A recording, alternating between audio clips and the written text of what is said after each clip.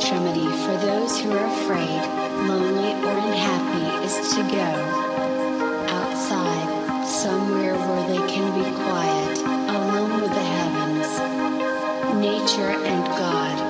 Because only then does one feel that all is as it should be and that God wishes to see people happy amidst the simple beauty of nature.